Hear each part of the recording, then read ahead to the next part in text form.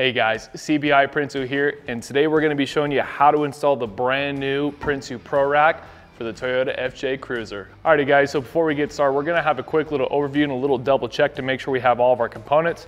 You're gonna wanna check and make sure you have all of your outer side rails, your inner side rails, all of your crossbars, all of your mounting feet. There's gonna be three mounting feet to this roof rack your wind deflector and your specific crossbar that'll mount behind your wind deflector and your trim piece. Alrighty guys, so let's do a quick little overview of some of the tools that we're gonna use to, to install this roof rack. Um, usually we like to have a drill.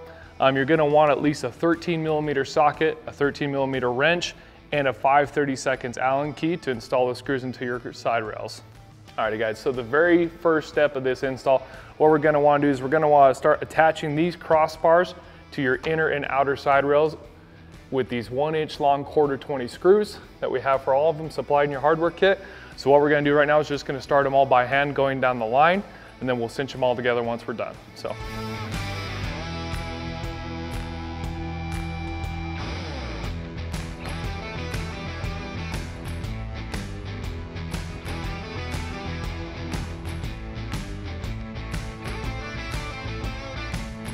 Alrighty guys, now that I've got all the screws started by hand, what we're gonna do is we're gonna apply a decent amount of Vibratite or Loctite to all the screws before we tighten them all the way in. That way it doesn't rattle loose or anything like that.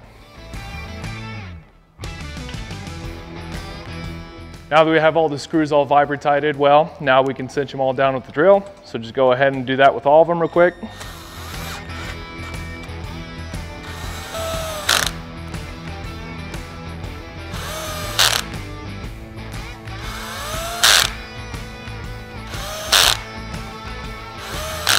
Alrighty guys, so now that we kind of have the main structure of the roof rack assembled, now what we're gonna do is we're gonna focus on the wind deflector assembly.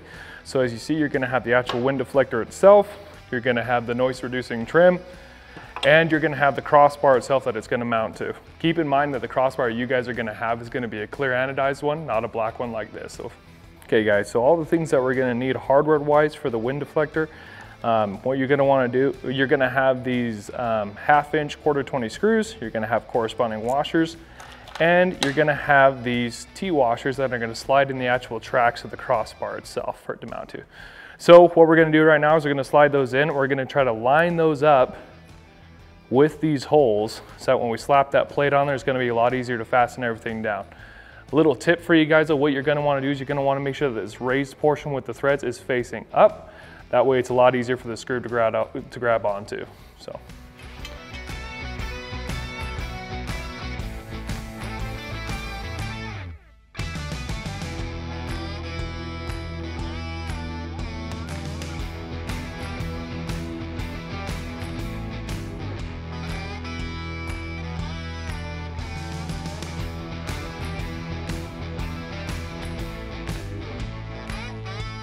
Now that we have the main um, wind deflector assembly done, now we can take this wind deflector, we can install it onto the rest of the roof rack using those same one inch long quarter 20 screws.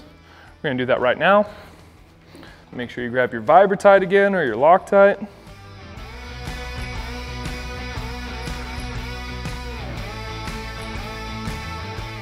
Okay guys, so the next thing that we're gonna talk about is we're gonna talk about prepping the roof for mounting the roof rack onto it.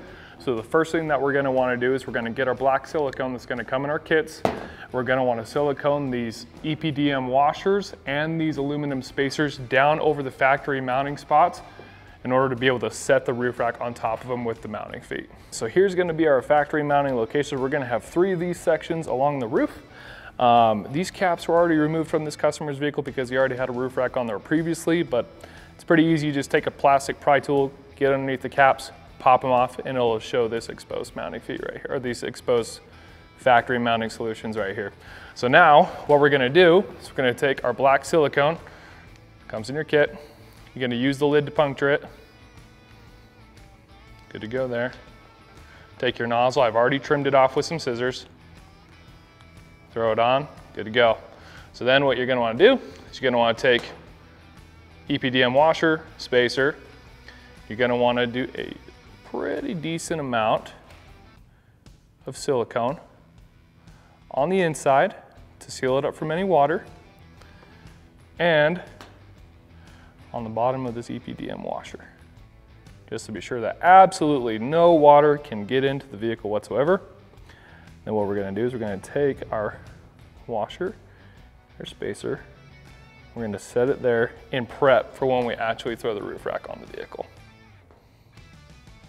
And we're gonna do this with every single one of the other mounting spots that they're on this roof.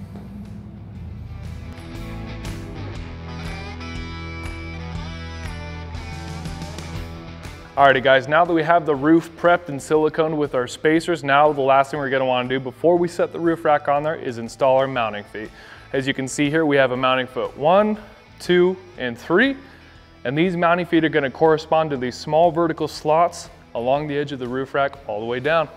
So what we're gonna do now is we're gonna take our small baggie of one inch long quarter 20 screws and we're gonna install these mounting feet to the inside of the roof rack sitting like this with the press nuts facing inward to the rack. So let's get, let's do that real quick.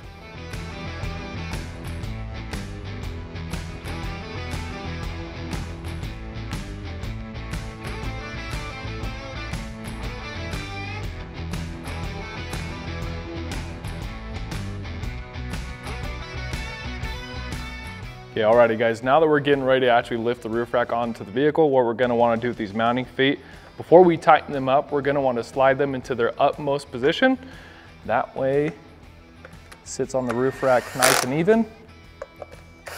We're gonna do that with all of them all the way around the rack.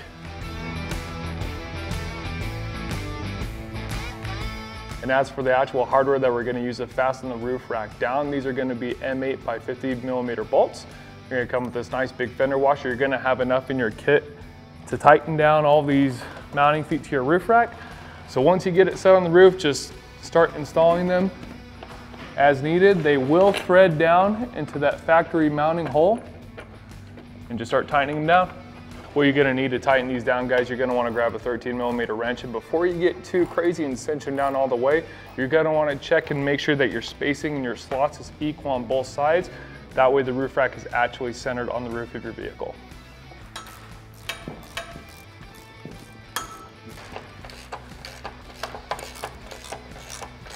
Alrighty guys, so that wraps up the installation for the Prinsu Pro Rack for the Toyota FJ Cruiser. As always guys, if you guys have any questions or concerns, please reach out to our customer service emails. And if not, we will always have instruction kits provided for you guys through our website. Thanks for watching guys, we appreciate your time. We'll see you on the trail.